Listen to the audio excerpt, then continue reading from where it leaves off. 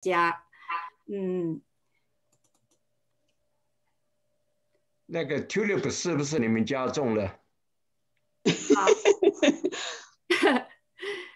当飞机降落在首都国际机场的时候，我远方的家北京到了。北京是一个拥有悠久历史而不失时尚的繁荣美丽的城市，不但风景优美，还有许多的名胜古迹。随着北京日新月异的变化，新的建筑。如春笋般的拔地而起，具有现代化的时尚和高科技的功能。今天我主要展示一下我生活工作的海淀区。海淀区位于西城市的西北边，著名的景点有颐和园、圆明园、香山。还有闻名遐迩的高等学府，北京大学、清华大学、人民大学等很多高等院校。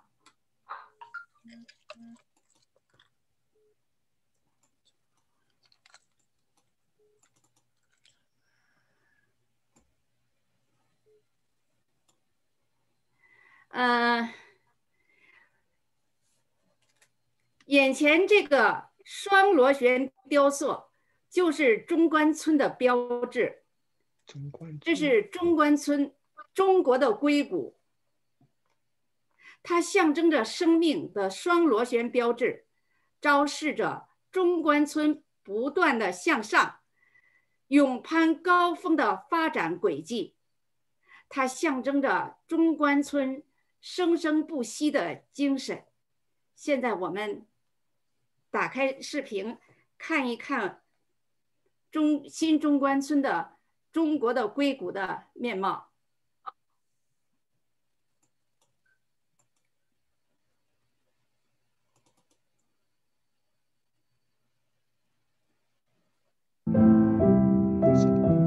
我们随着李娜走上这个天桥。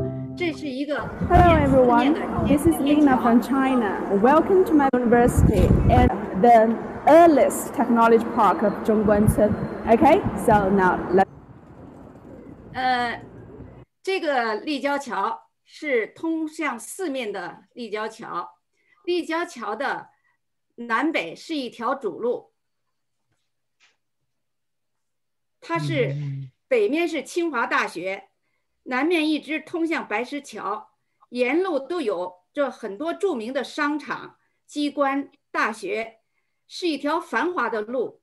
东面就是中国科学院各个研究所所在地，很多的科学家，他们都是很多的科学家专家，他们都是工作生活在这个地方，比如我们知道的。钱学森、华罗庚、陈景运，当年他们就是工作生活在这边的。我们随着他往立交桥的下边走，看一看新开发的区。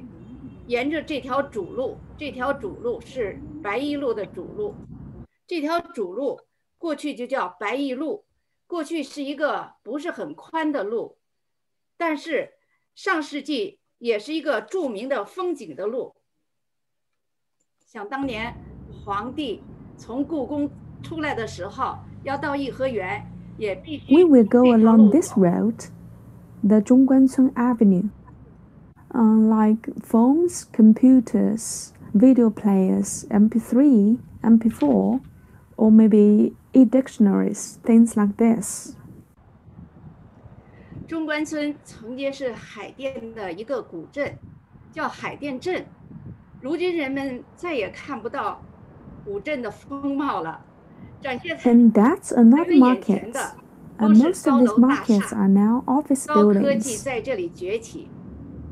中关村的名字代替了海淀 And there used to be lots of peddlers selling CDs, DVDs by the streets or on the bridge. digital markets?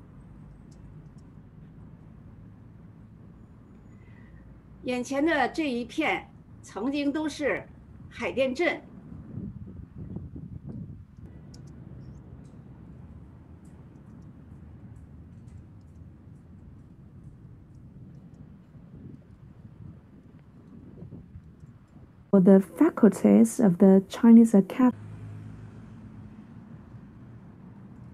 曾经过去在这里住过的朋友，现在到这里，已经找不到过去海淀镇的面貌了，全都是高楼大厦，只能在自己的回忆当中想到过去的样子。有些这些古镇的很多的古迹还是保留下来了。这里成了创业的大街，商务楼、写字楼、购物中心、超市。And this is Zhongguancun Plaza. It's a good place for leisure. 有各种 And 服 I 务 will come here later and 各 show you 种 more. Now I will go along. 迎刃而起，给这里带来了一片繁荣。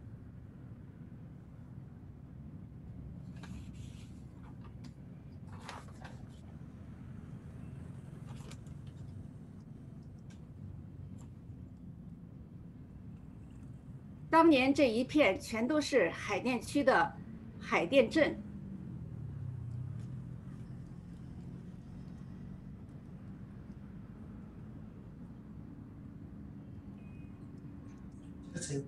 这里有很多大的商店、商场、购物，呃，非常方便。我们拐到这边去，就是一个步行街。呃，这是海淀医院，这是海淀医院。And that's an entertaining and shopping center. 新中关, the gate. 新中关有好多的 mall。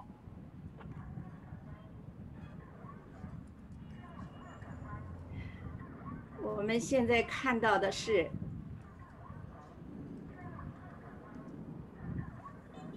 步行街，步行街，这里边有好多好多的 food court，很多的美食都在这个街里边。现在我们看到，现在没有多少人拍照的时间，也许是找的什么时间不知道这么清静，但实际上这边是非常热闹的。这边的地方就是一个超市，很大的一个地下超市，家乐福超市。嗯，从这边绕过去，就是当年的海淀镇的全部，现在已经变成了高科技园区。And here is a pedestrian street and another shopping mall. And it's connected with the 村原 square. 来是电子一条街，是中国第一个国家高级技术产业的开发区，第一个国家自主创新的示范区，第一个国家级人才聚集的区，视中关村为以中关村为核 It's a 心的 nice day and the flowers in 京大 the 学 mm, windy 清华大.学为代表的等高等院校，聚集人才最多的地方。今天，这里变成了中国的硅谷，这就是海淀镇的改变。我们看到这里了，我们就再去看看那个离我们不远的地方。清华大学。清华大学是我现在在北京，前面是北京的清华大学，我带大家转一下。呃，这个清华大学是需要预约的，只有周六和周日可以开放。呃，通过微信公众号预约。呃，你预约好了之后，需要从这个西门进，这是西门。这个大学有好多门，是早上呃九点，呃九点到。呃，清华大学是美国退还的部分庚子赔款的呃赔庚子赔款建设的，十点的，现在进去啊，你只能你要现场预约就约不上了。是走进来了。那还有个雕塑，写着桂云。行，刚才遇到个粉丝，和他一起合了张照。呃，我他这个你预约好之后，他这上面有推荐的游览路线图，呃，我会照着这个图走啊，一次经过前面这个园，这个园叫进春园，然后大礼堂、科学馆、清华学堂、二校门、清华新学堂、主楼，然后从东门出去，我就按照这个他推荐的这个走了。先看这个园，这是进春园，这一个亭旁边还有人练剑，哇哦，这还有玩这个的，这个叫枪啊，哇哦 hockey 这个不错。啊，呃，这就是进春园了。这个地方原先是那个呃清咸丰的清咸丰皇帝的旧居，然后朱自清的《荷塘月色》就是描写的这里。那上面还有一个亭，那个亭是一九八二年建的，就是为了纪念朱自清的《荷塘月色》，那个叫荷塘月色荷塘月色亭。行，现在继续走。呃，这中间是一个小岛，那个岛通过那个桥可以上去。呃，这是这一面，对面还有人在跳舞呢，跳广场舞，我就不过去看了啊，好漂亮啊！好多人骑骑着自行车游啊，因为这个大学比较大，从东门走到西门的话，大约一两千米。呃，这边这个是牡丹园，给大家看一下，后边那个是生物学馆。一般呃有大学里有很多学院嘛，每个学院呃会有一个楼。这就是生物学馆正面，哇哦，今天来来参观的还挺多的。哦，这还有鸟啊，这什么鸟？哇哦！行，现在绕过这个湖了，这个湖就转完了。哇哦，这又是一个小花园。这又有一个湖，这地方好多人啊，这么多人来参观。这上面写着水木清华是形容园林里池水花木清幽美丽。我们都在这儿照过相，这是大家最喜欢拍照的地方。呃，水木清华，拍个照，都在这拍照呢。哇哦！这还有个亭，这个亭叫自清亭，过去这个自清亭是大礼堂。呃，现在到了那个清华大学的中间了，这是主要的参观地方。这有个大草坪，周围好多特色建筑。这个建筑先给大家看一下。哦，见过。呃，这个是大礼堂，这个大礼堂建于一九二一年，它下面是方的，上面是圆的，寓意是天圆地方。呃，它是有既有罗马式又有那个希腊式的建筑风格。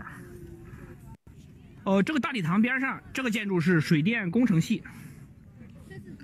呃，这个大礼堂边上边上这个建筑，这个建筑是科学馆，这个建筑建于一九一七年，呃，占地面积三千五百五十平，然后一共三层，这个建筑也很特色。然后那边那边是同方部，现在到那个去啊。那前面就是同方部了，这边上还有个小花园，这个小花园好漂亮啊！清华大学都是老建筑啊。行，现在去同方部。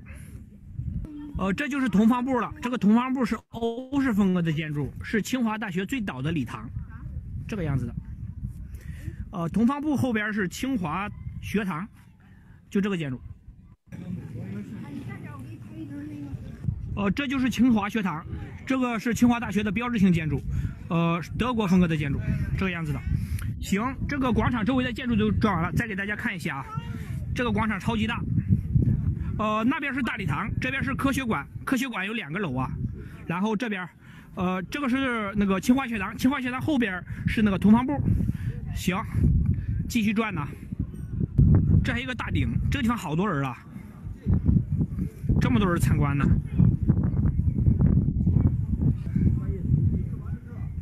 这有讲解的。现在又返回主路了，好多学生来参观呢。前面是清华大学的另一个标志性建筑，叫二校门。现在带大家去看一下。行，现在到了。呃，这个门啊也是清华的标志性建筑，这个门叫二校门，建于一九零九年。原先是清华大学的校门，后来清华大学扩建嘛，就把这个门，呃，扩建到里边了。它是汉白玉风格的建筑，有三个拱门，白玉石砌成。好多人在这拍照啊，给大家看一下这个啊，这个要重点看一下，来清华大学都会看这个门的。我以前看过很多清华大学的图片，都是这个门，门背后是这样这个样子的。然后看一下后边建筑，来清华大学的人都会在这儿拍照的，留个纪念。呃，我们看了清华大学后，呃呃，我带大家到，还是从西门出去，不用乘车，几步之远的地方就到了，就到了圆明园，不用坐车就可以到了。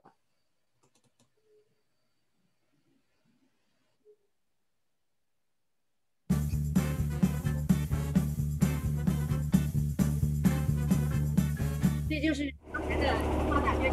大家好，今天我们这个视频带大家来逛一下颐和呃圆明园的遗址公园。不过大家现在看到的这个地方就是清华园的那个清华大学的清华西门。今天的天气非常的不错。这这个站以前这个站以前是我这个呃上幺零幺中学这个圆明园的南门儿。哟。巧遇圣上。圆明园在同治的时候已经改名叫万春园了，不知道为什么那牌子上写的还是祈春园。嗯，它的问题是每园里头有两百多座桥，这就因为刚才我说到处都是这种湖嘛。然后你看，如今这种单孔，这个残桥，这叫。现在是这个颐和园被毁以后唯一保存至今的一个老石桥了，就是这个，就是这个残桥，依然很漂亮。咱这圆明园以前被称为万园之园，就是没有比哎，你看这儿也有这种鱼哎，没有比这儿。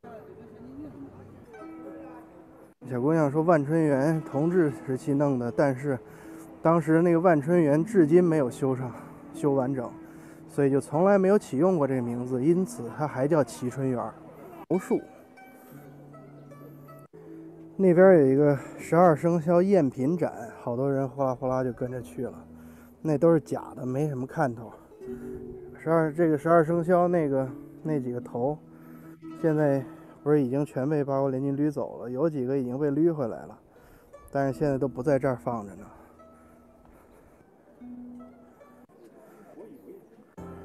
不让水兜下去，所以你也不知道它现在哪些池子是后来建的，哪些是原来有的。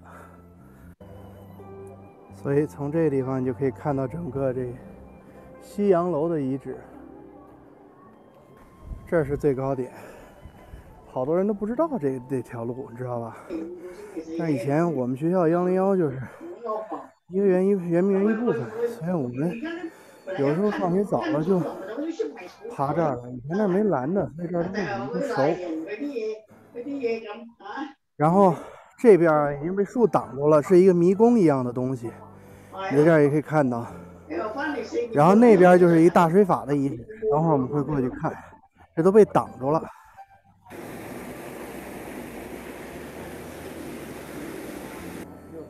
哦，你看涨价了，十块钱涨到十五了。不过学生票还是五块钱一张。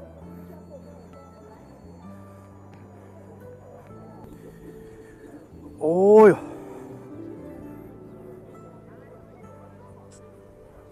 以前看过一电视剧，不是电视剧，就是一纪录片，它还原了它这个西洋楼的那个样子，特别的漂亮，就有点像一水世界一样的感觉。咱们看那十二生肖兽首，其实就是当时喷水的，从那些那个十二生肖的嘴里头喷水的那种，像水龙头那种喷嘴儿。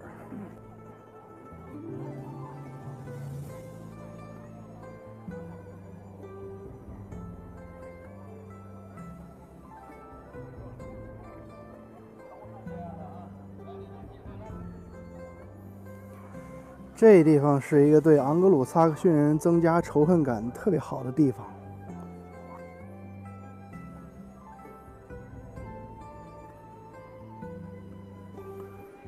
哦，这叫养雀龙遗址。然后这是一个八卦阵。我们看到这里，美丽的圆明园就这样被烧毁了，太可惜了。我记得我们当年在好多年前我们到这里来，是一片荒凉。现在经过修整了，保护起来了，是这个样子。下面我们再去看一看，至今保留最完整的园。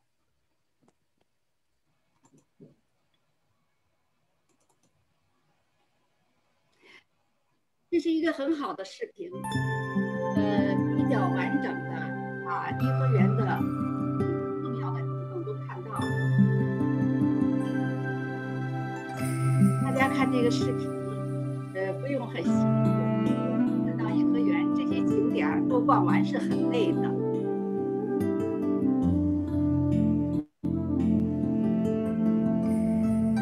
这是佛香阁，当年我们都上。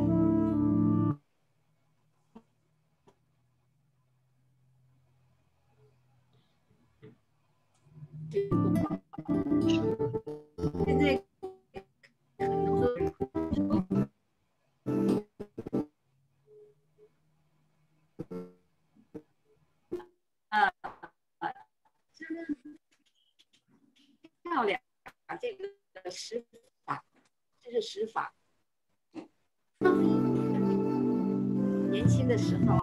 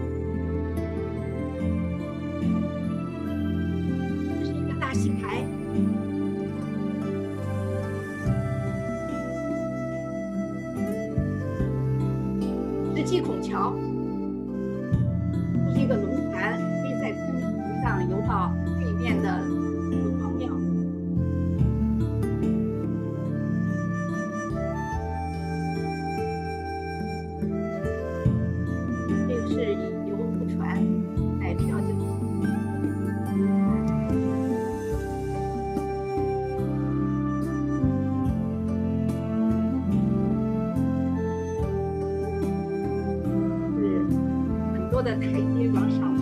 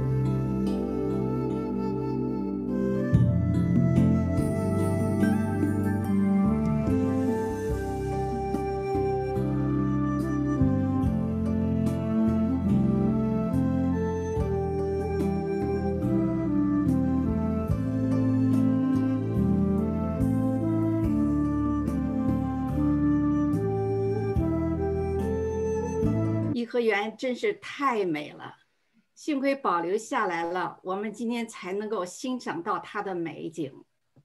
现在再回到我家住的地方的附近的情况，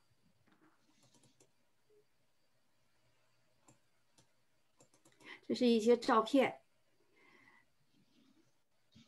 呃，这就是那条白衣路，前面往北边就是清华大学。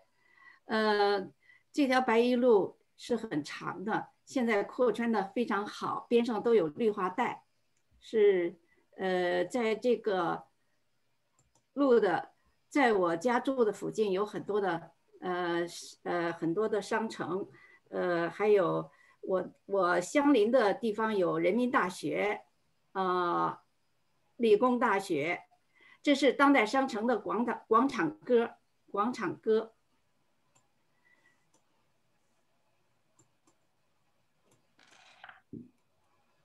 呃，这是过街天桥，像现在还有过去都有一些个小商贩在这里摆卖东西。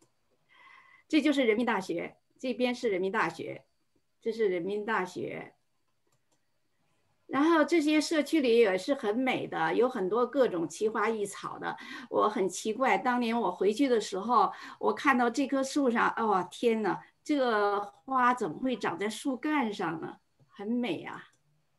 还有一些个美食街，我们可以跟朋友一起在这里享受美食。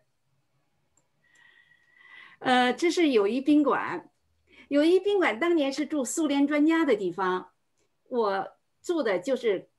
跟他做邻，呃，以他为邻，这些地方都是我居住熟悉的环境，也是我呃平常都是在这里活动的地方，非常方便。这里有地铁，呃，是一个交通枢纽。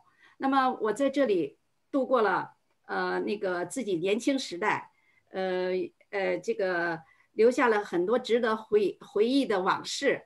还有我放不下的亲朋好友，我在这个地方经常去的，就是呃最喜欢去的就是紫竹院。紫竹院。紫竹院公园是我最喜欢去的，也是北京人喜欢在那里，喜欢在那边，呃，锻炼身体，早晨晨练，呃。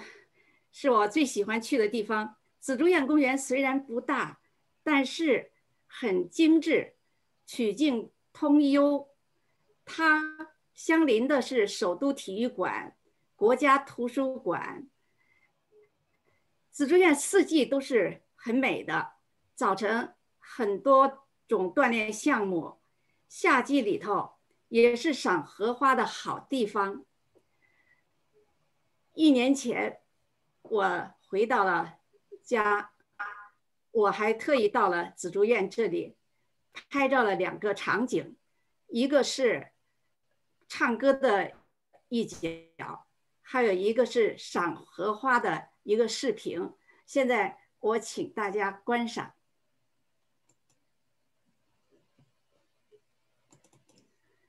这是紫竹院唱歌的一角。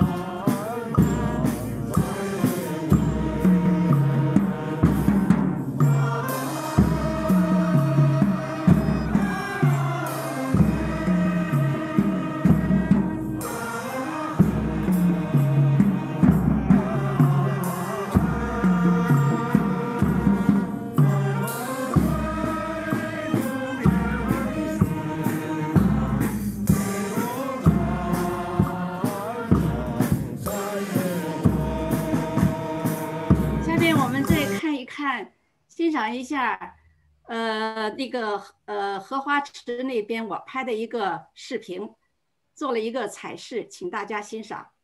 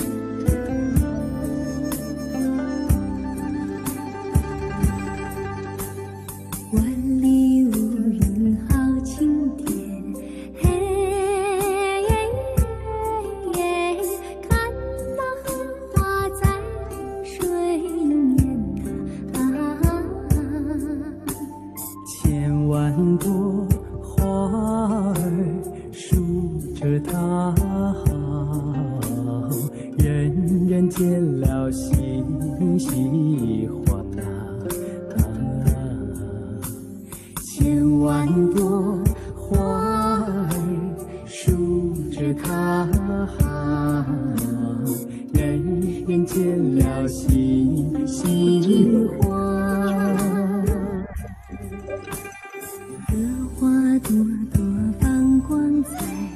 哎，我心上。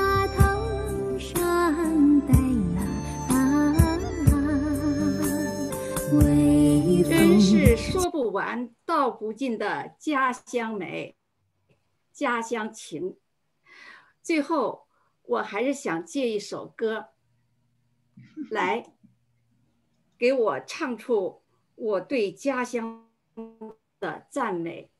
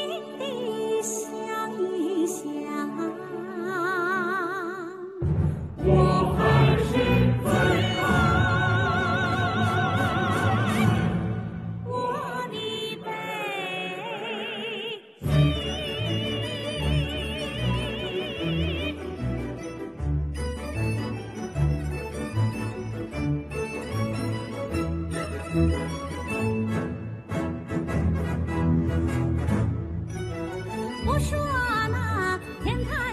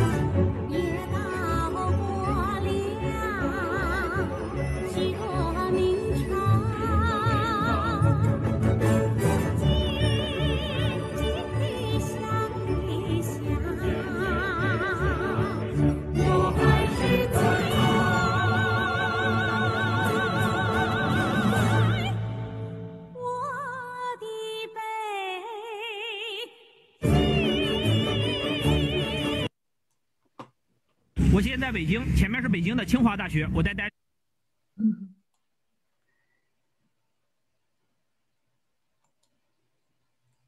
走遍了南北西东，今天来到国外，静静的想一想，我还是最想念的我的北京。今天我的远方的家北京就简单的展示在这，展示到这里。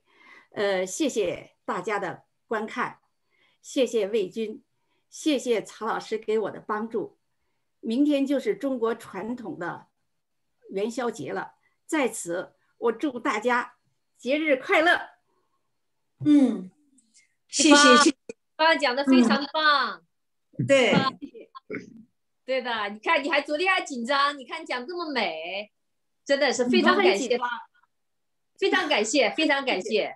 我特意如约而至来看你这个，你做的做的非常好，而且勾起勾起了我的那个，如果不是疫情，我现在也在北京了，孩子票都买好了，所以这个做的真好，做的真好。我就想问你一个问题，你你做的那个就是说是紫竹院那个荷花，哎呀，我眼泪都看出来了，因为就是上上次我们也在那里搞过一个活动，特别谢谢你。总而言之，非常感谢你做的特别好。我就想问你一个问题，你说你在清华那个大学拍照的时候，你是你那一刻是什么感想？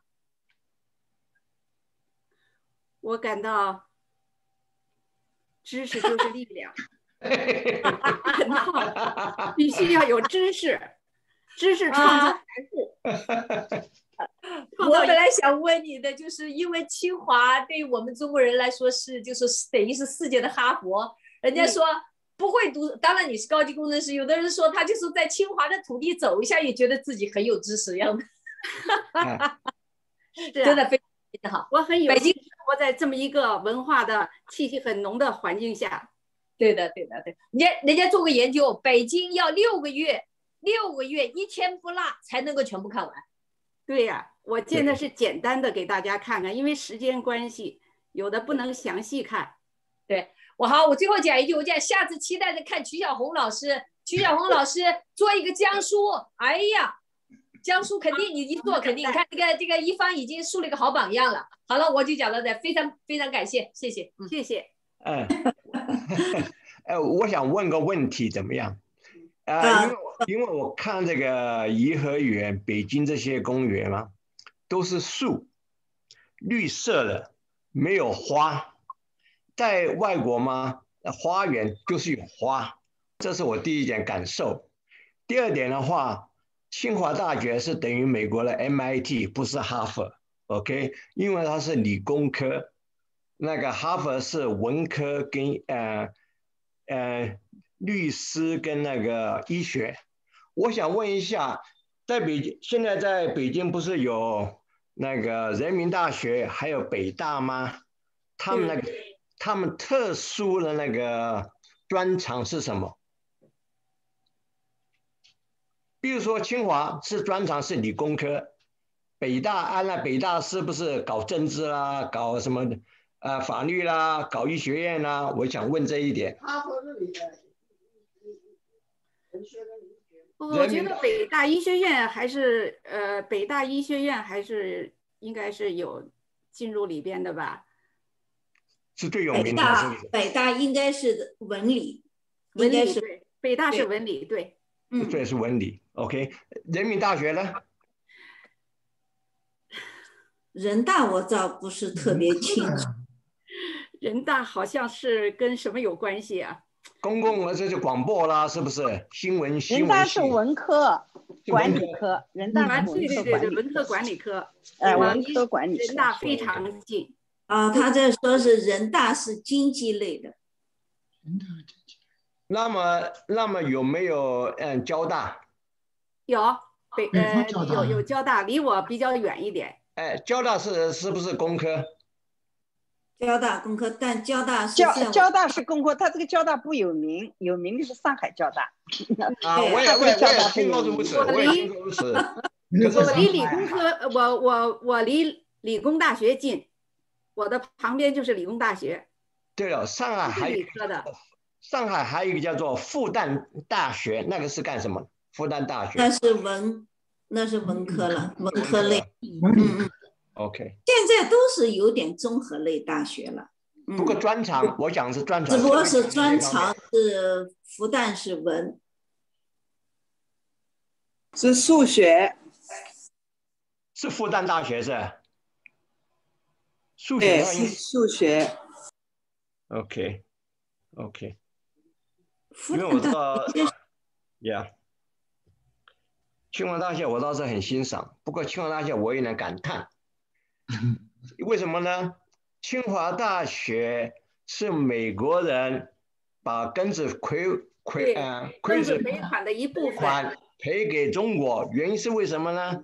因为觉得中国人很笨，怎么一个国家对抗八个国家，从来没有事情，头脑头脑发热的。我是觉得这样子的话，让美国人觉得啊，让中国人聪明一点，就捐钱给你，让你们教育教育你们将来的那个学者是怎么样。我的感觉是这样子。啊，对，是庚子赔款的呃一一部分建设的。一部分办这个学校，一部分办了医院，还有一些孩子嗯，协和医院吧，留学。对然后协和医院，协和医院嘛，协和医院，协和医院嘛对，嗯，Yeah。所有人都都赔款，只有日本人没有赔。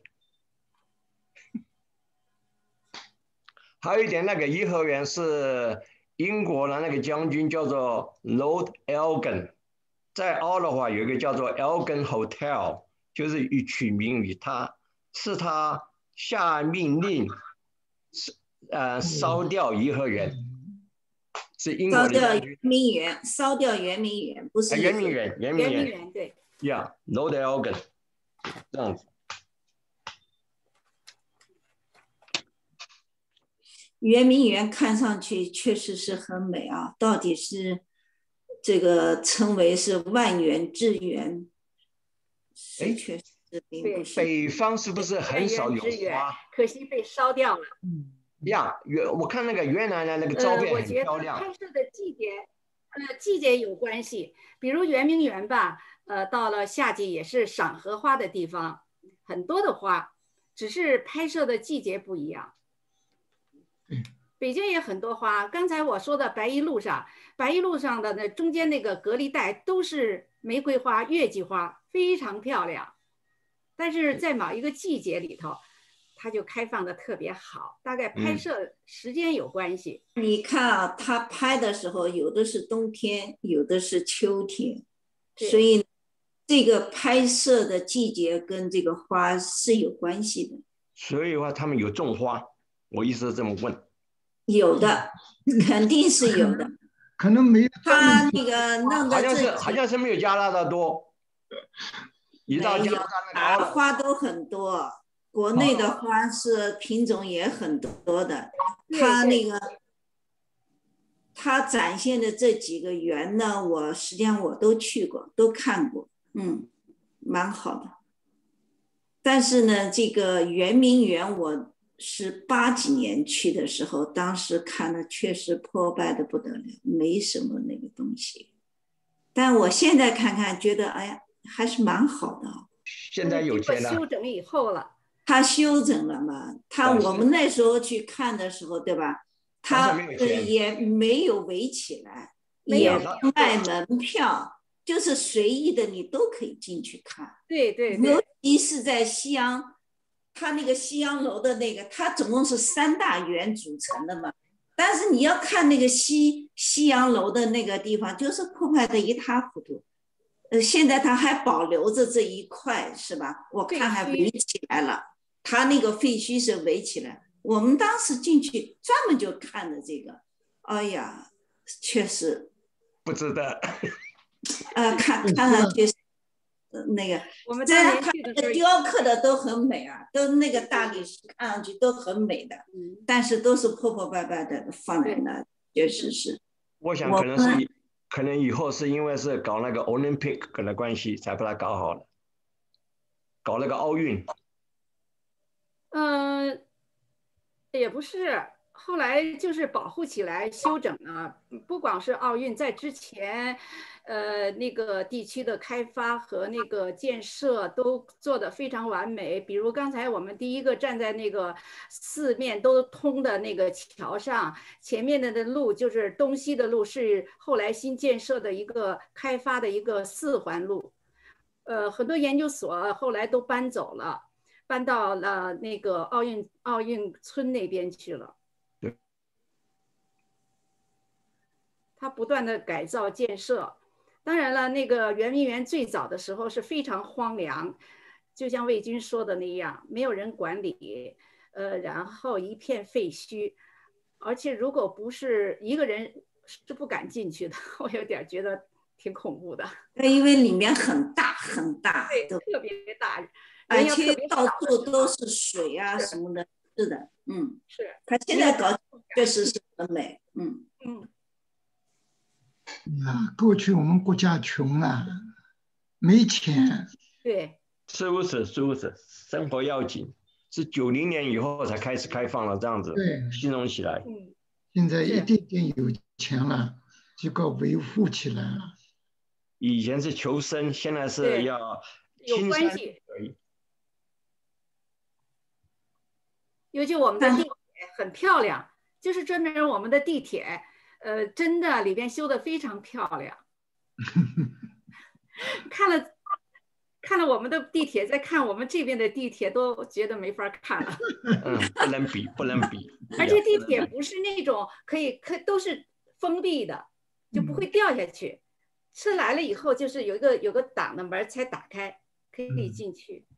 呀呀，这是这个最早还是从上海开始的，因为地铁出很多事故，呀有人就越过跳到了这个铁轨里去。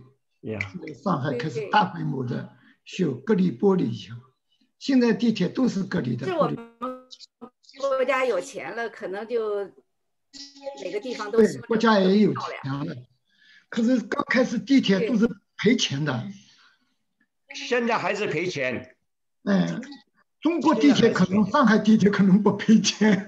呃，中国去高铁现在还是赔钱，是只能高铁肯定是赔钱，高铁肯定是在赔的，上海地但上海铁，地铁已经盈利了。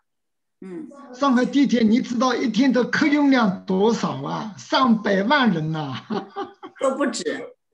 那北京的地铁 相信也是盈利的，因为北京的地铁人上的人人也口哎，大概北京、天呃北京跟重庆吧。我早上去上班尤，其是一号线到天安门的那条线，太挤了。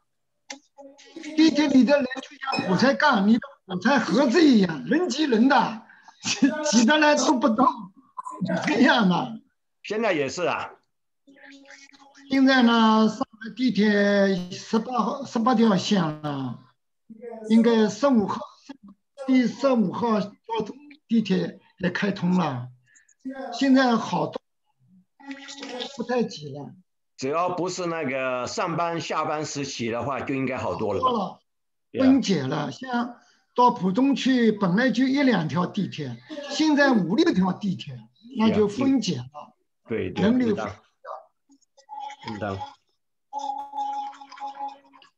我张一芳今天准备的相当的充分，嗯，相当正好。啊，而且这个时间把控的也很好，呃，每一段每一段之间的连接也很好，不错不错。呀，很好。嗯，为我们远方的家开了一个好头啊！谢谢一芳，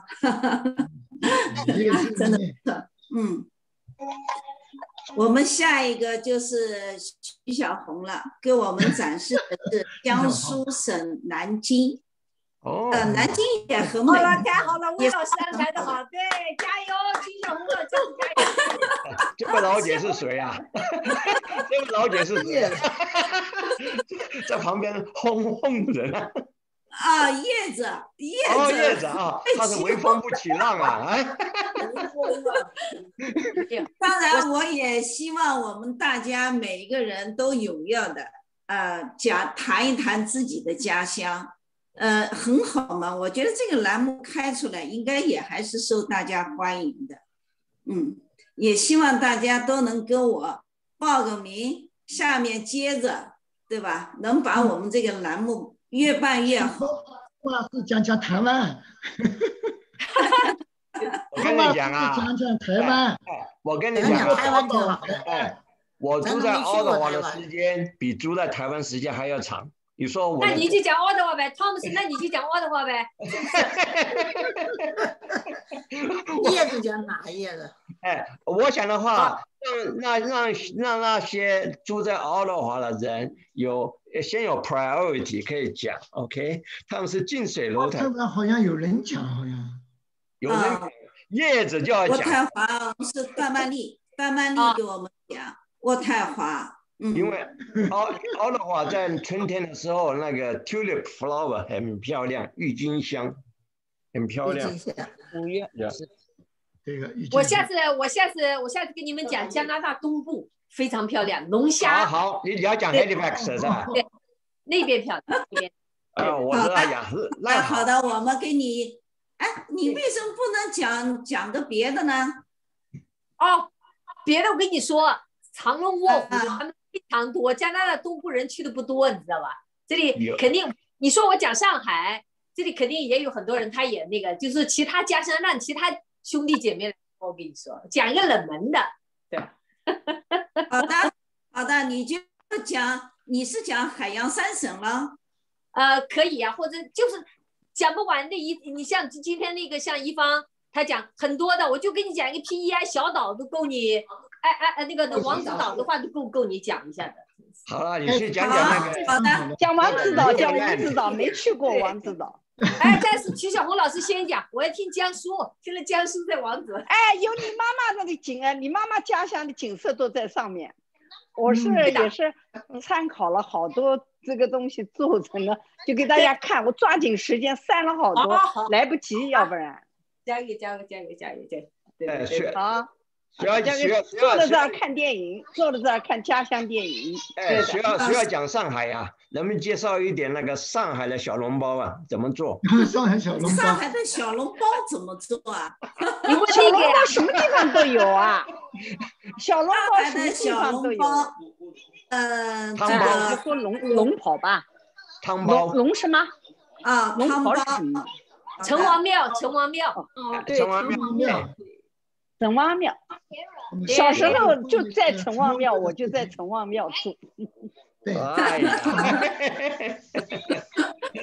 城隍庙现在都吃掉了，我们时间到了，不能讲了。哦，城隍庙撤掉了，拜拜，谢谢大家参与，拜拜了，拜拜，拜拜。